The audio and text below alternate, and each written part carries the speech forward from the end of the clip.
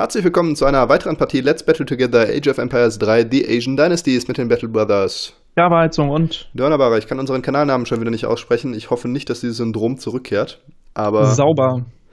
ähm, Richtig guter Anfang. Wir spielen heute mal wieder auf der Dekkan und diesmal seht ihr das Ganze ganz ungewohnt mal wieder aus der Perspektive vom Unerbaren. Wir spielen hier auf einer großen Deck, äh, auf einer kleinen Deckern diesmal. Jojo. Gegen random Online-Gegner, die uns mit Osmanen und was spielt der zweite? Azteken. Azteken, genau, Azteken auf die Fresse geben wollen. Mal gucken, ob das klappt und ihr seht heute die Japaner, ach Quatsch, die Chinesen-Einführung vom Unerbaren hier jetzt live. Ist schön, dass du mir meine komplette Anmoderation kaputt machst in meinem ja, Video, weil du Alter. nur Scheiße gelabert hast in dem Moment. Das ist schon wieder keine Begründung, Mann. Echt nicht. Mann. Digga.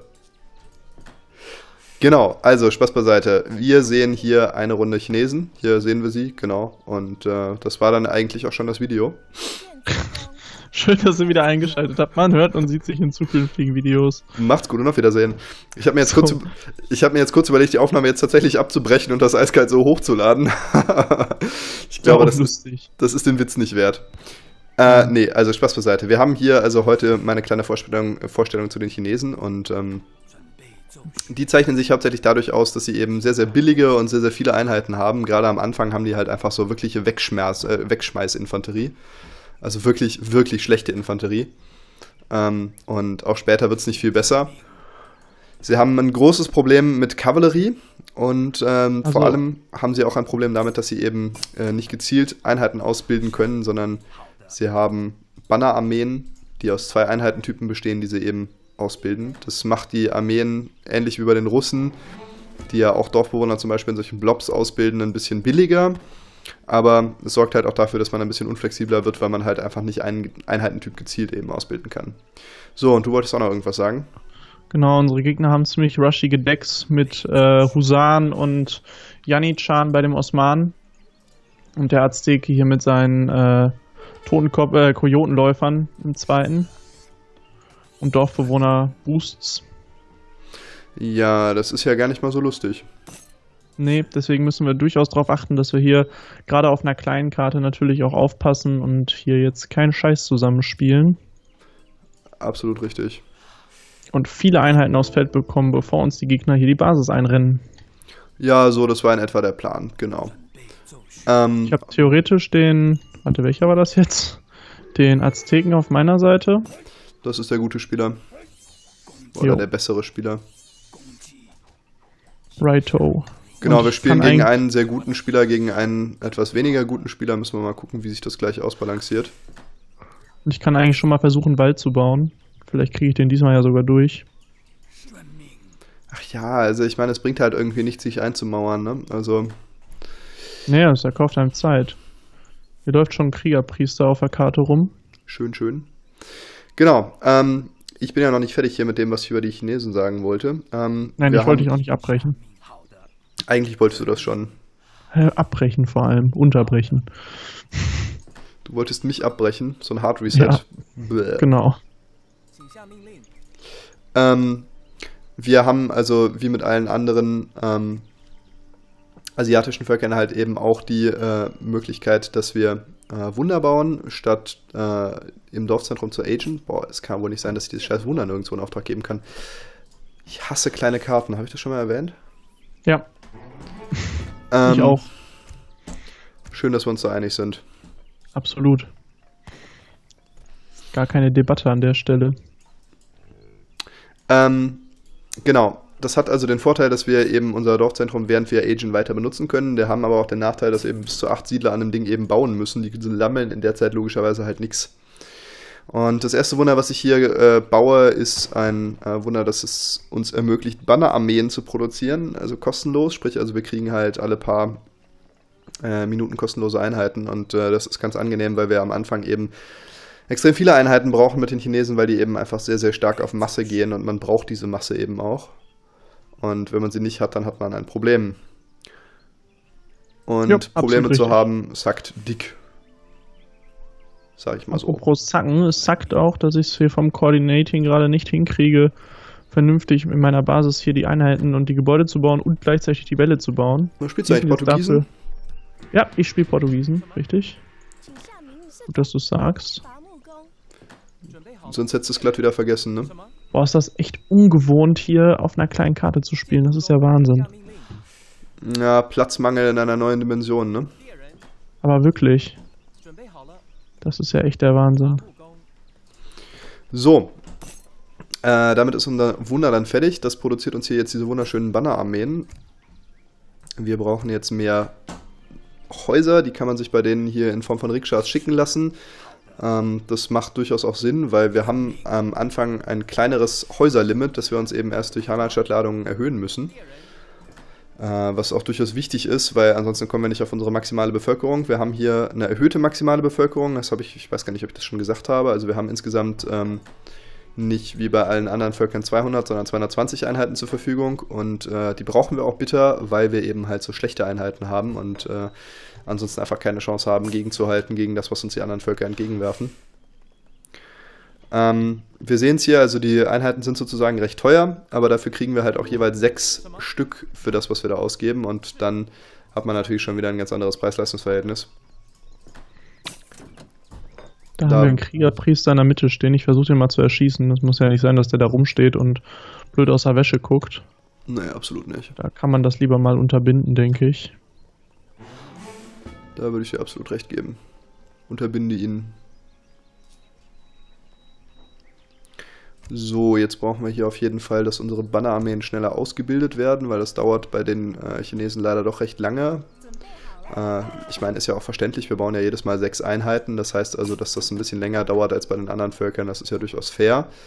Aber man muss es ja trotzdem nicht überstrapazieren, sag ich mal. Nee, muss man in der Tat nicht. So, was ist euer Problem? Ihr habt da jetzt fertig Elefanten gejagt, dann könnt ihr jetzt da mal weiter Elefanten schießen gehen. Ich brauche keine Dorfbewohner und keine Militäreinheiten, das ist in der Tat fatal. Ja, beides ist geil eigentlich. Also sowohl Militäreinheiten als auch Dorfbewohner ist wirklich nice to have. Also hier in der Mitte ist aber halt bisher auch nichts, deswegen bin ich gerade am. Wobei doch da oben haben wir ein Aztekengebäude. Jo, und da sind die Einheiten. Makahultain. Ja, gut, klar. Alles andere hätte mich jetzt persönlich auch sehr stark gewundert. Ja, heißt aber, dass die da in der Mitte gleich die Ressourcen wegfarmen können. Pass auf deine Dorfbewohner da unten auf. Welche Dorfbewohner? Du siehst das, was da ankommt, ne? Die da direkt vor dem Tor sammeln. Die sammeln hinter dem Tor. Ja, aber wenn die gegen das Tor anlaufen, sind deine Dorfbewohner ja trotzdem weg. Zur Kenntnis genommen. Gut. Mehr wollte ich doch gar nicht. So, wir sammeln hier jetzt so langsam unsere Armeen zusammen. Also wir kriegen natürlich jedes Mal sechs dazu. Das heißt, ähm, da kommt natürlich schon so ein bisschen was zusammen.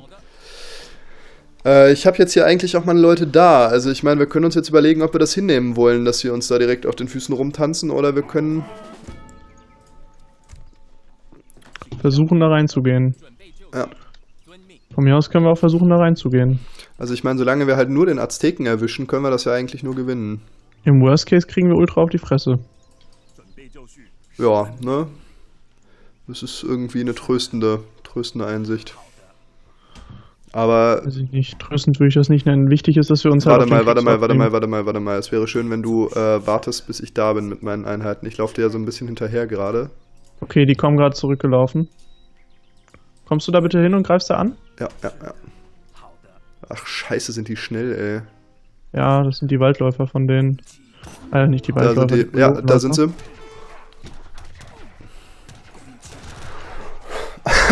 Gut, so, dann, dann, versuchen wir uns mal da durchzuschnetzeln und wir bauen in der Zeit weitere Häuser. Das kriege ich nämlich gerade hier vom Koordinieren nicht gerade wirklich gut auf die Kette.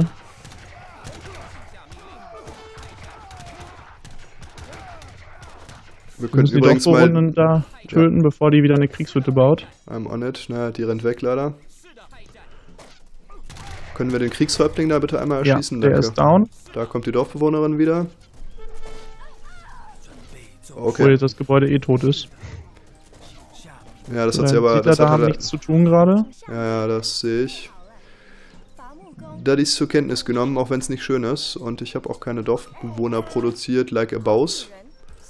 Aber das war oh, mir sehr gut. Mein Kundschafter so. lebt wieder. Aber ich würde sagen, Rush erfolgreich abgewehrt.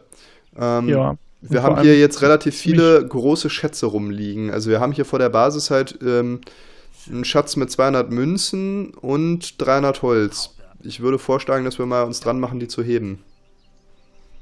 Ja, wir kümmern wir uns mal erstmal um den 300 Holzschatz. Ähm, ich glaube, wir haben so viele Einheiten, wir können das auch aufteilen, oder? Ja, ich laufe jetzt erstmal zu dem 300 Goldschatz rüber. Ich habe halt gerade keinen Kundschafter da, um den zu heben. Das ist das Problem. Die Frage ist, was macht halt unser Gegner jetzt gerade so? Aber ich habe da einen Dorfbewohner da.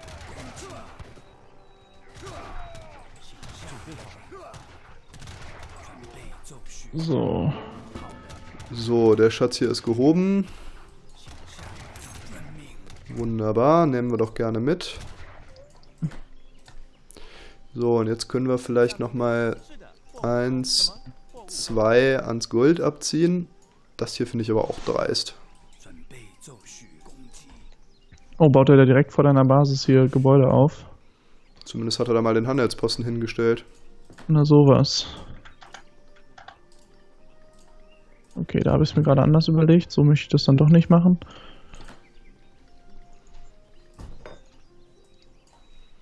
Ich bin gerade jetzt an, bei mir selber ein bisschen am Ringen, wie viele Einheiten ich jetzt tatsächlich noch so bauen soll. Aber der gedenkt das auch nicht zu verteidigen. Der hat da einfach nur den Handelsposten hingestellt. Ja, ist doch schön. Freut man sich doch. Ja, reiß mal doch mal ab, den Scheiß.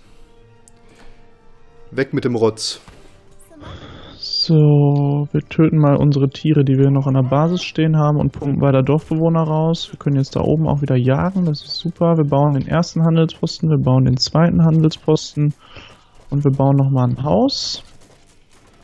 Und jetzt das schnellere Holz sammeln, würde ich sagen. Und ich baue jetzt übrigens hier gerade auch nochmal eine Basis auf, damit wir da die ganze Zeit durchsammeln können. Du bist herzlich eingeladen, da auch was aufzubauen. Ja. Ich denke, das macht Sinn. Zwei verirrte Wasserwürfel, ja. Mein Gott, wenn sonst nichts ist. Ich sehe zwar den Mehrwert nicht so richtig, aber... Hier hat er sogar noch einen Handelsposten gebaut, den können wir auch gleich mal abreißen.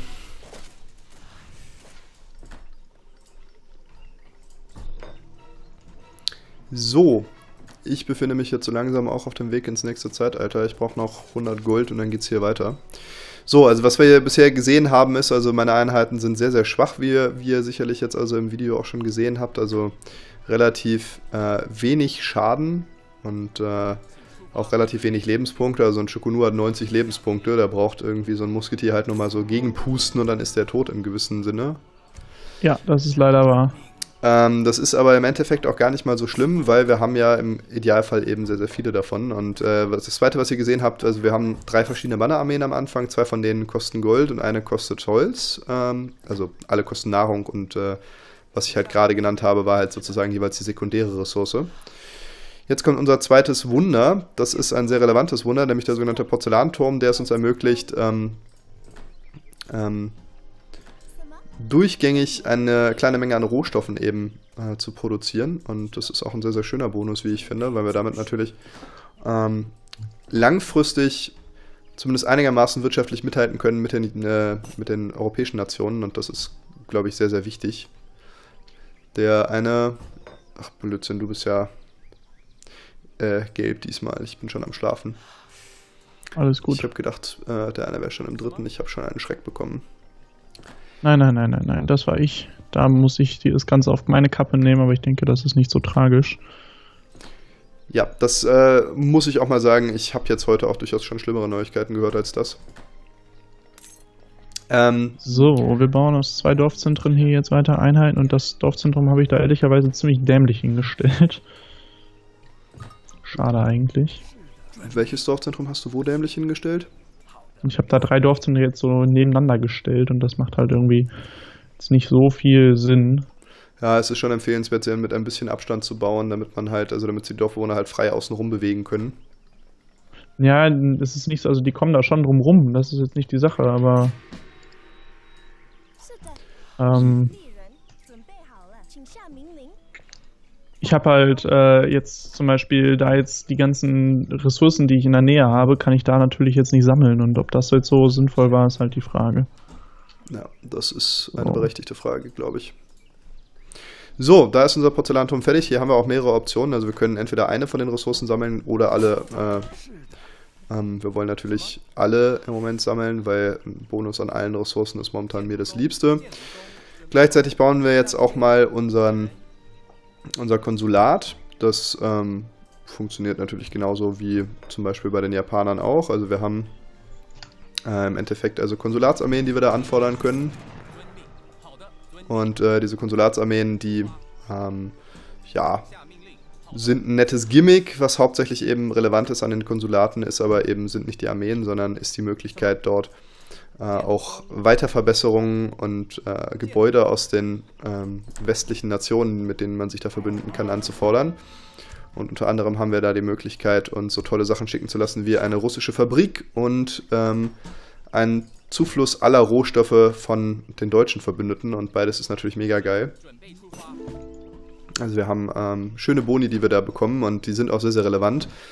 Mit diesen Boni sind wir wirklich in der Lage, wirtschaftlich mit einer europäischen Nation mitzuhalten. Also es ist tatsächlich so, dass wir da Chancen haben, auch durchaus eben gegen, ach, sagen wir mal zum Beispiel mal einen Briten auf lange Sicht eben standzuhalten, was finde ich schon sehr, sehr besonders Schon eine Ansage. ist. Ja, genau. Ähm, das schafft man mit den anderen asiatischen Völkern nicht so ohne weiteres. Also der Chinese. Also war nicht einfach durch die. Basis. Also mit den Portugiesen kriegt man das schon hin. Ach Nee. Quatsch, mit den Portugiesen. Mit den Japanern meinst du? Mit den Japanern, aber dafür muss man halt dann die ganze Karte kontrollieren, um seine Schreine ausspielen zu können. Genau, man braucht halt mit denen auf jeden Fall dann die Schreine für den Spaß. Und wenn man die nicht hat, dann äh, ist das auch durchaus schwierig, eben auf äh, die entsprechende wirtschaftliche Stärke zu kommen. Und mit den Chinesen kann man das halt einfach ganz entspannt in der Basis machen. So, jetzt habe ich aber das Konsulat fertig gebaut. Ich habe die ganze Zeit drüber geredet, aber ich habe mir dann, dann auch keinen Verbündeten angelacht. Das ist ja auch irgendwie jetzt ein bisschen inkonsequent gewesen, muss ich mal Also sagen. ich gehe im Übrigen jetzt ins vierte, Ja. weil ich halt gerade wirklich massig Ressourcen dafür habe. Ausgehend von der Tatsache, dass unsere Gegner uns hier irgendwie sowieso momentan nicht gedenken, so besonders viel entgegenzusetzen, werde ich das jetzt auch mal machen. Ich baue aber gleichzeitig auch Armee. Also ich baue jetzt gerade Orgelkanonen und ich möchte mit denen eigentlich gleich mal angreifen. Ähm, einfach nur, um denen auch nicht das Gefühl zu geben, dass sie hier äh, locker. Ja, das kannst, du werden. gerne, das kannst du gerne machen, aber man muss vor allem eben halt auch sehen, dass ich momentan auch gar nicht so unglücklich darüber bin, dass wir nicht angegriffen werden, weil ich jetzt natürlich diesen tollen chinesischen Wirtschaftsbonus hier ausspielen kann. Klar. Aber wenn ich den, also wenn, ich sehe einfach nur das Risiko, dass, dass unsere Gegner sich irgendwann denken, jetzt greifen wir mit voller Armeestärke an. Uns ist das schon passiert und äh, Ja klar, man muss Spiele ich nicht halt- wegwerfen. Das ist wahr. ganz genau das. So, ich baue in der Mitte übrigens auch nochmal eine Kaserne, wie du mich ja schon vor Jahrhunderten gebeten hast, es zu tun. Ach So, das. jetzt haben wir auch endlich unsere drei Dorfzentren am Start und pumpen jetzt fröhlich aus drei Dorfzentren Siedlern. Und also unser großer Vorteil, den wir im Moment haben, ist ja natürlich die Map Control. Also wir können hier jetzt einfach wunderbar die ganzen Ressourcen in der Mitte absammeln. Und Was nicht oft vorkommt bei unserem Spielstil. Nee, normalerweise muss man sagen, dadurch, dass wir uns einfach sehr passiv verhalten in der Regel, ist das äh, nicht unbedingt garantiert. Und eher selten der Fall. Ja, das trifft es vielleicht noch eher. So, was ist dein Problem? Pling, viertes, here we go. Warte mal. Habe ich mir jetzt die besseren Reisfelder schon schicken lassen? Ne, die brauche ich jetzt nämlich mal. So, da sind wir im vierten. Und können jetzt mal ein Dorfzentrum vielleicht etwas sinnvoller in Auftrag geben. Also, was heißt ein Dorfzentrum? Unser letztes Dorfzentrum. Wie viele Dorfzentren halt hast du jetzt insgesamt? Genug. Doch so konkret.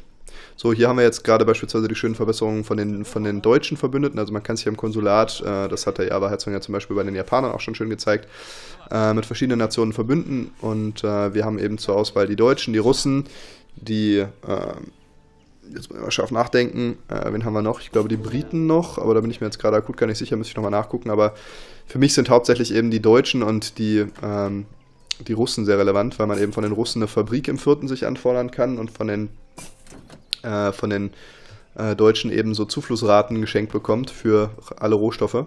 Also jeweils halt eine für jeden Rohstoff. Das heißt also, da bekommt man schon durchaus auch nochmal ordentliche wirtschaftliche Boni, die eben einem auch das ganze Spiel überhelfen. Und äh, deswegen ist das natürlich auch eine sehr dankbare Angelegenheit. Hier sehe ich, hinten wird schon eine Fabrik gebaut. Ich würde dir empfehlen, dass du deine Fabrik einfach dazu stellst. Mhm, das hatte ich vorher. So, und ich Dieser eine Gegner ist noch am zweiten. Ja, das ist Ich leider habe wahr. jetzt gleich volle Siedler, denke ich. Davon hält mich gerade nicht mehr allzu viel ab eigentlich. Das ist doch schön. Ja, ne, finde ich auch. Ja, ich Also bin jetzt auch... Zweite äh, Fabrik. Also ich bin längst noch Oder? nicht bei voll, aber Wo ist unsere zweite Fabrik jetzt hingerollt? oh, du stellst Fragen. Ach, hier runter, okay. Gut. Ja, dann stell du doch gleich einfach mal deine Fabrik dazu, oder? Ja, ja, aber bis ich die habe, dauert es eh noch eine Weile. Ja, ist ja kein Problem. gucke mal hier, man, man hat sich hier eingebunkert. Oh, Janni-chan. Ja, schöne Zeitalter 2 Janichan. Aber man sieht es halt trotzdem, also wie, wie viele von meinen Einheiten diese Zeitalter 2 Janichan äh, gegen meine Industriezeitalter ähm, Leute noch töten. Also es ist Jetzt halt kommen da unten auch noch die Elite-Kojotenläufer dazu. So. Okay, wir haben auf jeden Fall schon mal einen Riesenhaufen Welle gebaut und in der Mitte spiele ich jetzt gerade hier weiter meine Vorteile aus. Ähm ja gut, gegen beide kann ich da natürlich nicht halten, da rasieren sie mir jetzt einmal die Armee weg.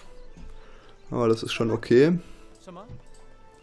Also es ist nicht okay, dass wir die Armee wegrasieren, aber es ist verschmerzbar. Ich habe jetzt gleich meine Wachmusketiere und dann werde ich damit ja, mit neun Orgelkanonen und einem Haufen Musketiere mal nach vorne gehen. Jo, mach den Sack aber noch nicht zu. Ich würde das hier gerne noch, wie gesagt, eben, weil es ja ein Show ist, einfach halt noch ein bisschen Klar. ausreizen.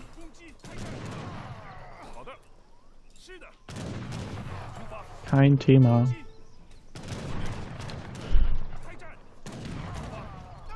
So, hier spielen wir schönes Hit and Run.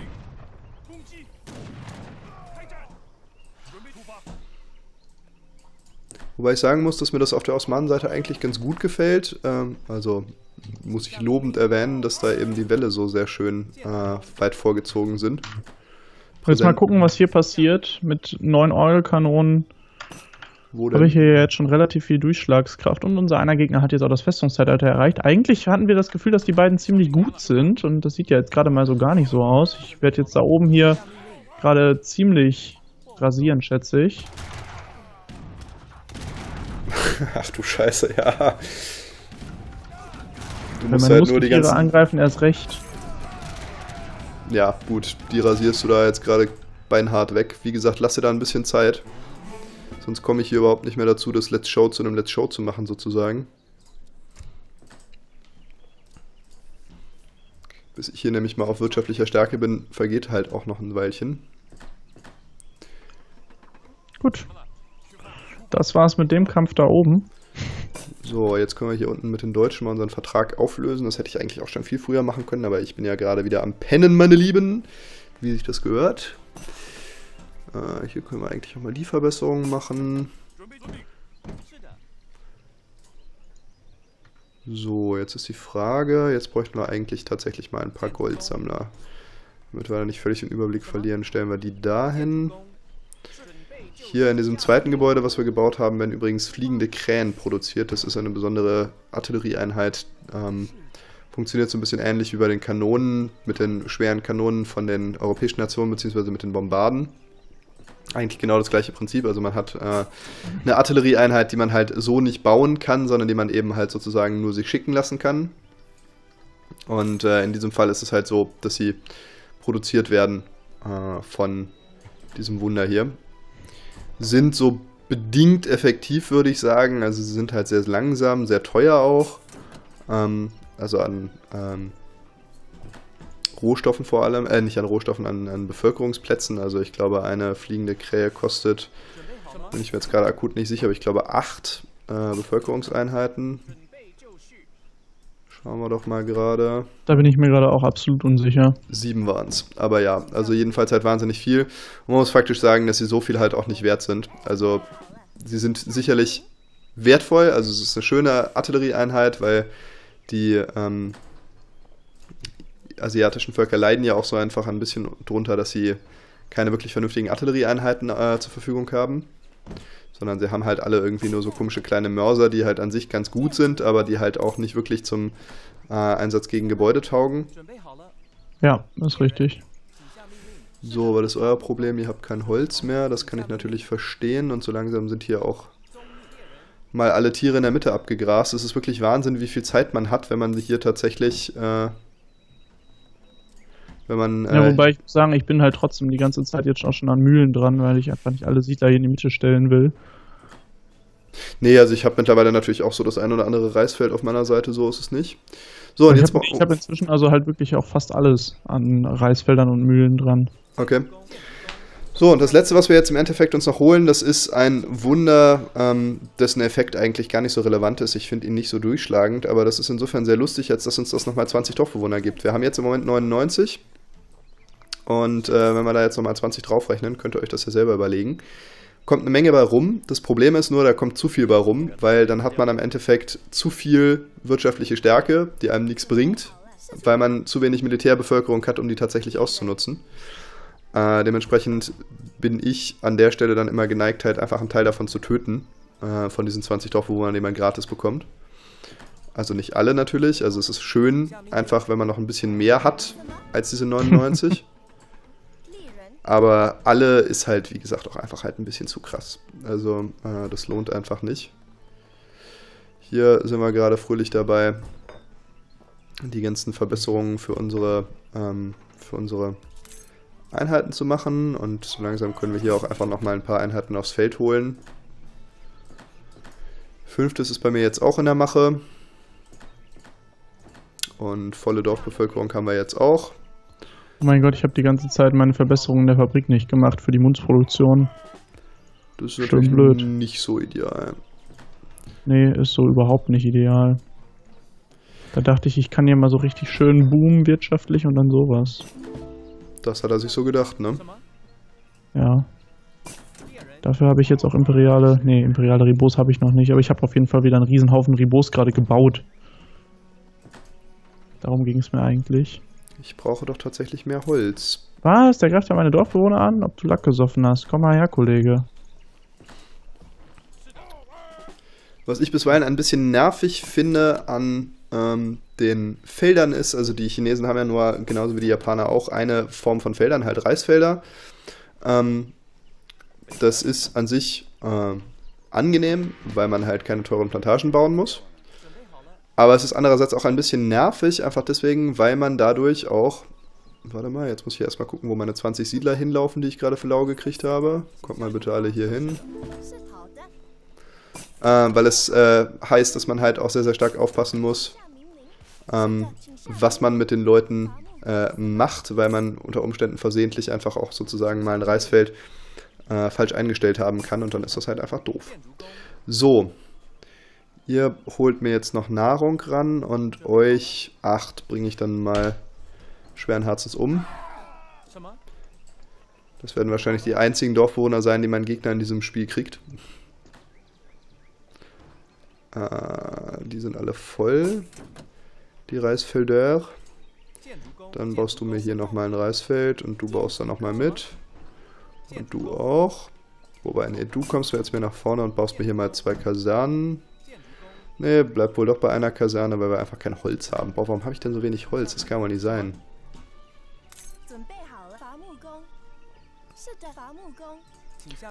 Gut, dann gehen drei von euch nochmal Holz hacken und ihr geht da nochmal Tiere sammeln. Aber was weiß, was soll denn der falsche Geiz? Ihr könnt doch eigentlich ruhig alle Holz sammeln so nötig haben wir es ja jetzt doch nicht. Also ich meine, ihr seht ja, wie viel äh, Ressourcen wir auf der Tasche haben. Dass der immer noch auf die Kojotenläufer geht. Die sind zwar schön schnell, ne? Aber der kriegt ihr so dermaßen auf die Fresse von meinen Einheiten. Das ist wirklich ein Fest. Ich langweile dich da mit meinem äh, Let's Show ein bisschen, ne? Nee, alles gut. Mach du mal. So, jetzt haben wir hier auch bald unsere Stärke. Ähm, ich habe ja zu den einzelnen Bannerarmeen auch noch gar nichts gesagt. Ich bin wirklich in diesem Spiel ein bisschen unkonzentriert. Es tut mir leid. Es ist leider nicht das erste, was wir heute spielen. Dementsprechend sind wir nicht ganz konzentriert. Nicht mehr ganz konzentriert, muss man fast sagen. Ja, das ist wahr. Äh, was fehlt mir hier? Jetzt fehlt mir hier noch mehr Holz. Ach, come on. Wie viel Holz könnt ihr denn brauchen, ey? Wobei, nee. Lieber nochmal die Münzverbesserung. Äh, also was, was angenehm ist an den Chinesen ist auf jeden Fall, dass sie eben die meisten ähm, Ressourcenverbesserungen, die es so gibt, eben auch haben. Also äh, sowas wie Königliche Münzanstalt, Gefriertechniken und so weiter, also die wirklich sinnvollen haben sie auch alle. Ähm, das ist ja längst nicht bei allen Völkern der Fall. Beispielsweise die Indianer haben die ja nicht. Und äh, das ist echt nervig, weil damit fallen die Indianer einfach wirtschaftlich wahnsinnig hinten ab. Irgendwann. Ja. Das können wir ja auch gerade hier anschaulich bei unserem Gegner beobachten. Ja, wobei das ist nicht das Hauptproblem für den gerade. Ja, der hat noch ganz andere Probleme, das ist schon richtig, aber es ist zumindest auch ein Problem. So, was brauchen wir hier noch? Äh, ehrenhafter Kang-Pikinier.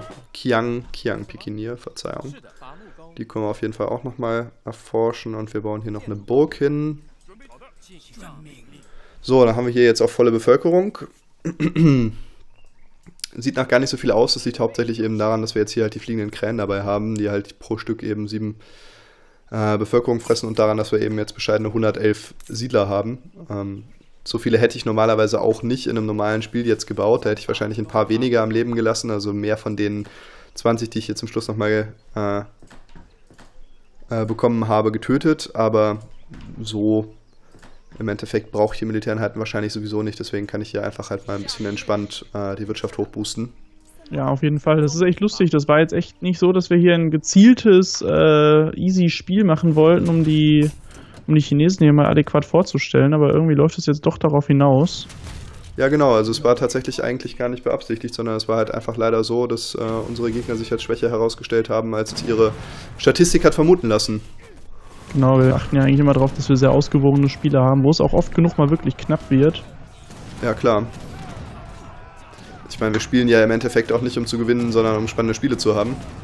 Richtig, ja, das Gewinnen ist natürlich auch ein Teil des Ganzen. Das ist jetzt gerade lustig, dass ich das sage, weil äh, wir oft genug schon an dem Punkt waren, wo ich, äh, naja, also ich Eigentlich sind unsere Meinungen hier gerade ein bisschen invertiert. Genau, eigentlich äh, ist der Unnahbare da deutlich zielstrebiger und auch, äh, Genau, ich spiele eigentlich immer mehr, um zu gewinnen und der Herr Java mehr für den Spaß an der Freude und äh, das hat Das- schon zu der ein oder anderen Diskrepanz geführt, so ja, tatsächlich. Diskussionen darüber, warum wir jetzt verloren haben. Und ich sage, ja, mein Gott, mal verliert man, mal gewinnt man so. Oder Und mal ich- verliert man, mal gewinnen die anderen. Und ich dann so, was? Wie kannst du nur, Ungläubiger, fick dich. du dumme Fotze? Das kann ja wohl nicht angehen. Was bist denn genau, du für ein Noob? unprofessionelle Kackscheiße. Du bist so ein Kackbuhn, ich werde dich melden, Alter. Die üblichen Sachen halt, ne? Genau, sowas. Also ich meine, man muss ehrlicherweise auch mal sagen, wir machen den ganzen YouTube-Scheiß hier ja auch eigentlich nur wegen dem Geld.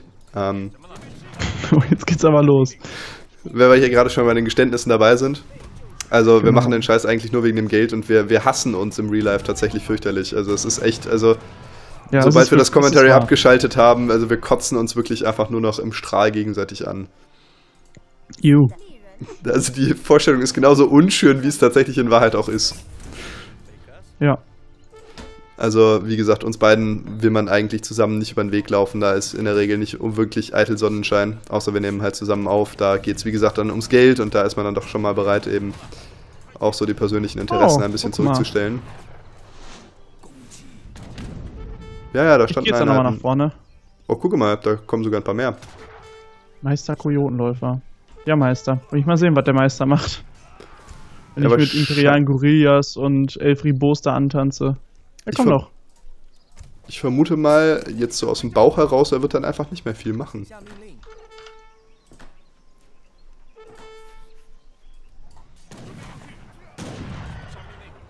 Wir haben ja Einheiten verloren, fällt mir gerade auf. So eine Scheiße aber auch. Wie konnten sie nur?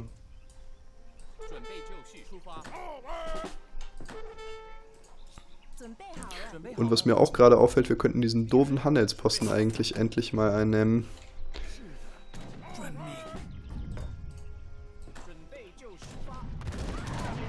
Schön, er greift mich mit Dorfbewohnern an. Das erscheint mir eine sinnvolle Idee.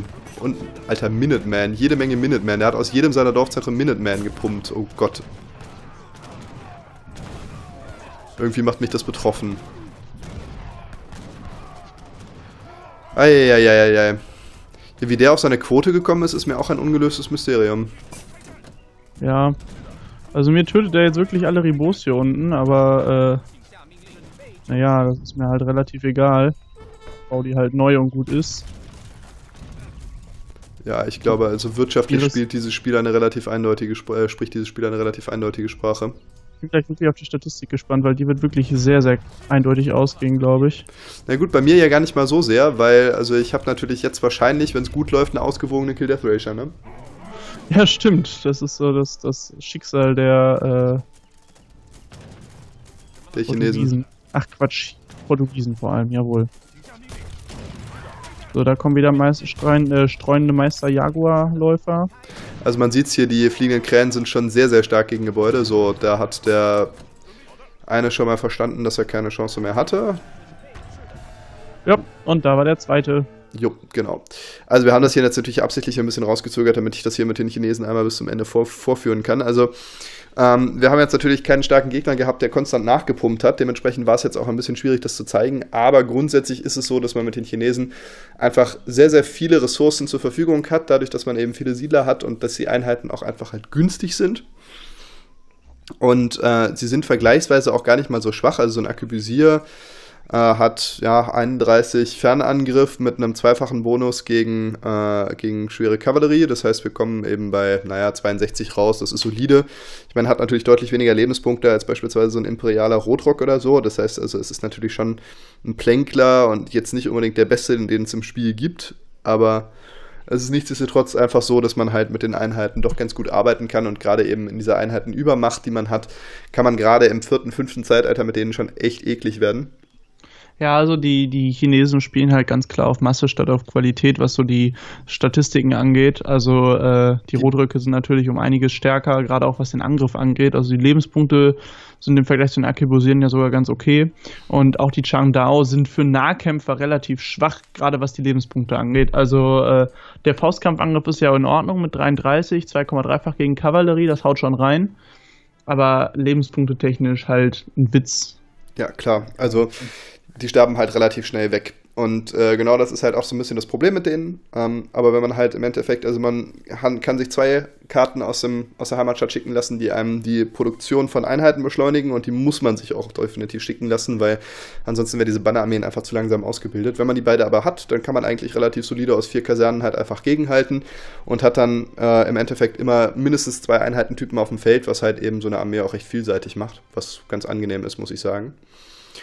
Ähm, wir sehen es hier jetzt an den Ressourcensammelraten. Also ich bin natürlich weniger weit oben als der Portugiese. Ähm, natürlich klar mit den Portugiesen, mit den vier, fünf Dorfzentren, die man zum Schluss hat, hat man natürlich viel, viel schneller seine Siedler. Das ist klar. Genau, aber im Die Endeffekt ein Steigung ähnlich- ist ähnlich.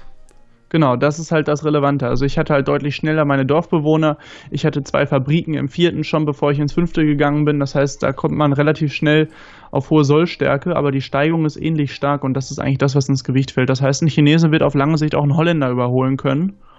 Und insofern hat man da eine wirtschaftliche, grundsolide Basis. Nicht ganz so schnell, nicht ganz so ein krasser Boom, wie, wie das von einem Portugiesen oder vielleicht von einem Briten gespielt wird, aber halt durchaus, durchaus lohnenswert und äh, Ja. ja. Sie sind halt am. Anfang unglaublich schwach. Das ist in meinen Augen eben das große Problem. Dadurch, dass sie am Anfang eben keine, keine Schießpulvereinheiten haben, sondern die erst ab dem dritten Zeitalter kriegen, ist das ein echtes Problem, weil diese doofen Chukunu, die können einfach wirklich gar nichts.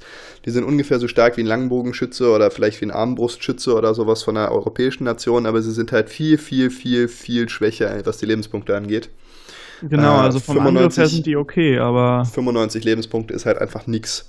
Das heißt, man braucht eigentlich mindestens so 30, 40 Prozent mehr Einheiten als der Gegner am Anfang, um eben irgendwie zu halten. Und dafür muss man sich eigentlich schon fast Ressourcenkisten en masse schicken lassen, weil sonst kriegt man die auch nicht. Die sind zwar billiger, aber auch nicht so viel billiger als andere Einheiten.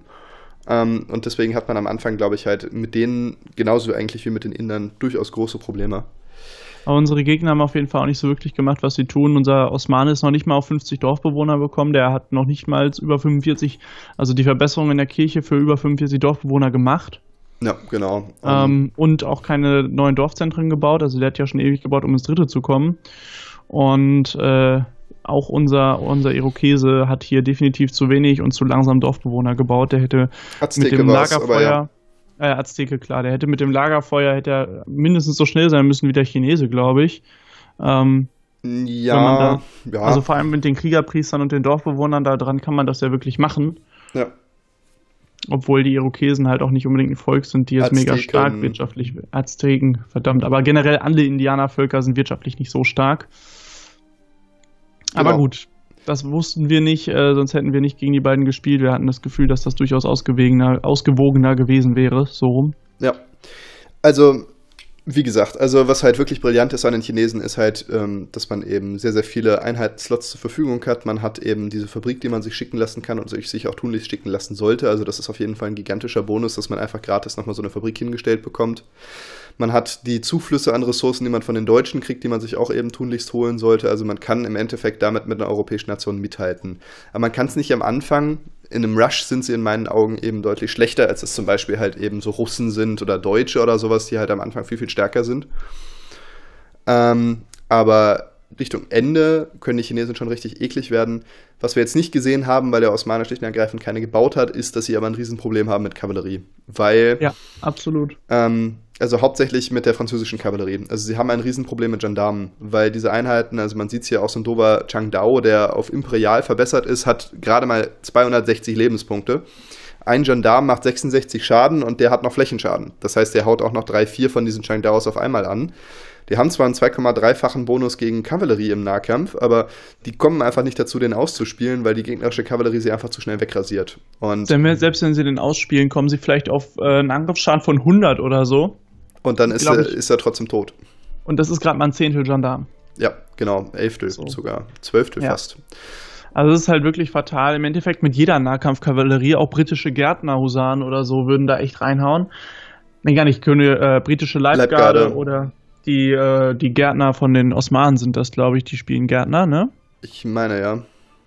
Ähm, oder halt Kosaken oder was auch immer, die würden alle ziemlich reinhauen, aber die Gendarme sind halt so die gefürchteten, die, die, die gefürchtete Kavallerieeinheit. Man sieht die anderen Reiter relativ selten, weil die halt auch, auch sehr teuer sind, so wie der Gendarme, aber halt nicht ganz so viel Gegenwert haben. Ja, genau. Gerade der Splash Damage von den, von den äh, Gendarmen, der haut halt richtig rein gegen, Kaval äh, gegen Infanteriemassen. Und man kann sich eben halt wirklich auf die Hinterbeine stellen, man kann machen, was man will. Und es ist halt einfach trotzdem so, dass man äh, mit den Chinesen gegen diese doofen Gendarme nicht ankommt. Also ich habe tatsächlich Spiele gehabt, wo ich eben jetzt, genauso wie jetzt eben wunderbare wirtschaftliche Stärke habe, mit 120 Dorfbewohnern, naja, mit 110 da am Produzieren war und Einheiten gepumpt habe bis zum geht nicht mehr. Und trotzdem bin ich nicht in der Lage gewesen, einen wirtschaftlich schwächeren Franzosen alleine fertig zu machen, weil ich einfach halt keine Chance hatte, diese doofen, doofen, doofen, doofen, doofen, doofen Husaren, äh, Blödsinn, Gendarme irgendwie umzubringen. Weil Ja. alles, was gut gegen Kavallerie ist bei den ähm, Chinesen, hat wenig Leben und das ist, wie gesagt, eben ein Riesenproblem. Am meine, Anfang schon ist es Grund, nicht so. warum die gebufft sind äh, und warum die in Turnierspielen nicht gespielt werden dürfen. Die Franzosen meinst du? Ja. Ja, das stimmt. Und ähm, am Anfang ist es nicht so drückend. Also wir haben ja gesehen, ich habe am Anfang nicht diese Standardarmee gebaut, wo eben Steppenreiter und Chukunus drin wären, sondern ich habe die Armee gebaut, die ähm, statt den äh, Steppenreitern eben diese Kang-Pikiniere enthält. Die sind eigentlich ganz gut halt gegen ähm, Kavallerie und sie haben vor allem halt auch so ein bisschen mehr Nutzen gegen zum Beispiel ähm, ja, Musketiere oder Plänkler eben. Also gegen Plänkler, wobei gegen Plänkler ist die Kavallerie schon wieder ganz gut, aber gegen Musketiere sind halt diese Pikiniere halt einfach auch ein bisschen sinnvoller.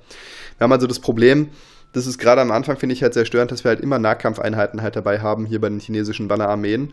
Und diese Nahkampfeinheiten, die sind im Endeffekt halt einfach nicht so viel wert. Also wenn man, ich würde jederzeit halt lieber sechs Chukunu haben, als halt diese doofen drei Pikiniere noch dabei und würde dann halt vielleicht noch ein paar Pikiniere halt separat bauen. Wenn der Aber- Kavallerie da kommt. Richtig, genau, wenn Kavallerie kommt. Aber das Problem ist einfach, bis die beim Gegner angekommen sind, sind die in der Regel tot. Und im Nahkampf besiegt so ein Musketier so einen blöden Pikinier trotzdem. Das heißt also, wirklich sinnvoll ist das halt nicht. Deswegen finde ich, sind die Chinesen halt gerade am Anfang sehr, sehr schwach. Man muss halt gucken, dass man den Anfang überlebt und dann hat man eben ganz gute Chancen im Late Game viel, viel Frust zu bereiten. Also wir haben auch schon Spiele gegen Chinesen gespielt, da haben wir uns wirklich äh, echt zusammennehmen müssen, weil die wirklich, wirklich gut gespielt haben und äh, dadurch, dass die Einheiten auch so billig sind, können die einfach unendlich lange einfach gegenhalten. Wenn also jedem europäischen Volk schon die Ressourcen ausgegangen sind, denkt sich der Chinese, ach komm, nochmal 600 Einheiten. Ja, ganz genau. Also da wird man echt überschwemmt und das kann echt anstrengend werden. Genau, und ich denke- wenn der Chinese einmal die Übermacht hat, das jetzt nochmal als letztes Fazit vielleicht, bevor ich euch wirklich eingeschläfert habe, dann ist er halt wirklich fatal, weil wenn man halt nicht mehr die Stärke hat, um die Einheiten von ihm schnell genug abzureißen, dann dadurch, dass die Einheiten ja passablen Schaden machen, ist er einfach unglaublich stark. Ja, absolut. Also passablen Schaden, wenn man einmal die Armee hat, ist es in Ordnung. Schwierig wird es halt, wenn man einen Gegner hat, der genauso gut die Armee von sich wieder aufs Feld stellen kann. Schneller Franzose und ähnliches. Oder wenn man, man unter, halt wenn man Unterzahl kämpft. Richtig, ganz genau. Na gut, dann würde ich aber sagen, wäre es das mit dem Spiel. Ja, wir bedanken uns recht herzlich fürs Zusehen. Genau, man hört sich in zukünftigen Videos mit mehr Age of Empires. Macht's gut und auf Wiedersehen. Cheerio.